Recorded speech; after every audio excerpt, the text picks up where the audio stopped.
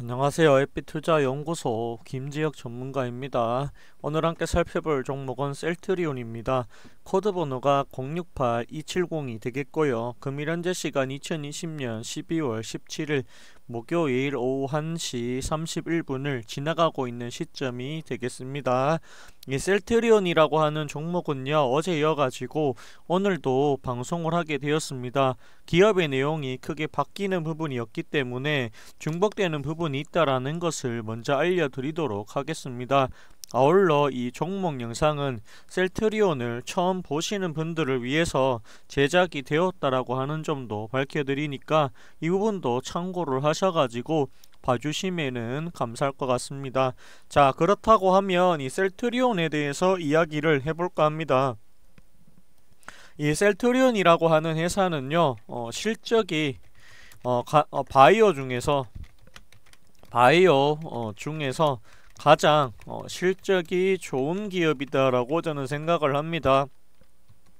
이 대표적으로 지금 팔리고 있는 바이올루 시뮬러들이 크게 네 가지가 있습니다. 어떤 게 있느냐? 램시마 그리고 이 트록시마 그리고 이 램시마 SC와 그리고 이 호주마가 있다라고 보시면 되겠습니다. 그리고 이 최근 최근에는 이 중화항체 치료제로서 어, 그 이슈가 되고 있다라고 보시면 되겠습니다. 현재 이 백신이 어, 백신이 어떻게 되냐면 이 하이자 백신이 어, 보급 중인데요. 지금 미국과 그 다음에 이 영국에서 어, 보급이 되고 있는 걸로 보여집니다. 그런데 이 하이자 백신이 어, 계속해서 지금 어, 부작용이라고 불리죠. 이 부작용이 어, 소개가 되고 있다라는 점이 들려옵니다. 아직까지는 이 백신이 보급은 됐지만 백신이 이 보급은 됐지만 어, 부작용이 어, 존재한다.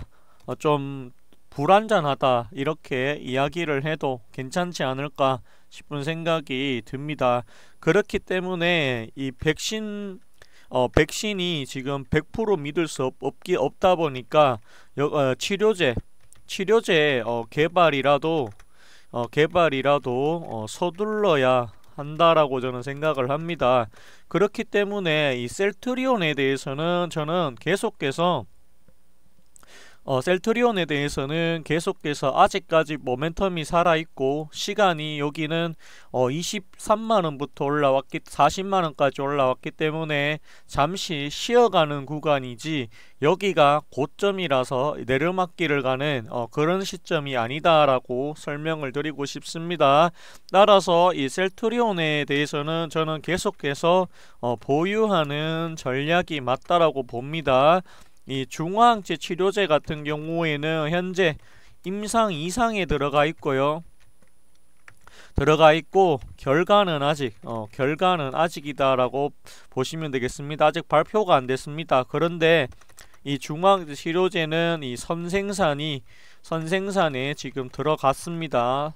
들어갔는데 아직까지 판매는 뭐합니다. 왜냐하면은 아직까지 임상 상상을 어, 통과가 어, 안 됐기 때문입니다. 일상 임상 일상에서는 안정성이 확보가 되었다라고 하는 말까지 나왔을 정도로 상당히 이 좋게 나왔었는데요. 그런데 이 이상은 결과가 어떻게 될지는 조금 더 지켜봐야 되는 부분이지 않을까 그렇게 보여집니다. 어, 따라서 따라서 이 결과 발표 이 결과 발표에 어, 따라 어, 따라서 이 결과 발표에 따라 어, 주가가 어, 다르게 움직일 수 있다. 움직일 수 있다라고 저는 봅니다.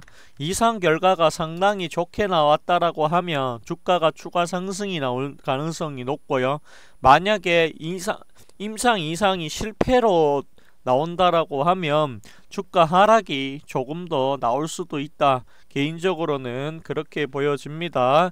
그리고 이 셀트리온에 대해서는 개인적으로는 어 일단은 어, 내년까지 내년까지 보유하자라는 의견을 드리도록 하겠고요. 신규 매수하고 싶다라고 하면 이렇게 어, 주가가 음, 신규 매수하고 싶다라고 하면 주가가 빠졌을 때 빠졌을 때 들어가세요라고 이런 이야기를 전해드리고 싶습니다. 어, 왜냐하면은 지금 셀트리온의 주가가 분명히 실적도 잘 나오고 모멘텀도 좋지만 23만원 대비해서 40만원까지 너무 빨리 올라갔기 때문에 좀 쉬어주는 타이밍이 필요하다라고 봅니다. 어, 이제는 어, 쉬어가는 타이밍에 어, 들어왔다라고 저는 생각을 하고 주가가 어, 하락이 나와도 어, 보유 전략이 전략이 좋다라는 의견을 드리도록 하겠습니다. 이 셀트리온에 대해서는 계속해서 보유를 하시면 되겠고요. 이 시간이 지난다라고 하면 충분히 어, 계속해서 주가가 올라갈 수 있으니까 계속해서 이 잘 들고 계셔라 그런 말씀을 드리고 싶네요.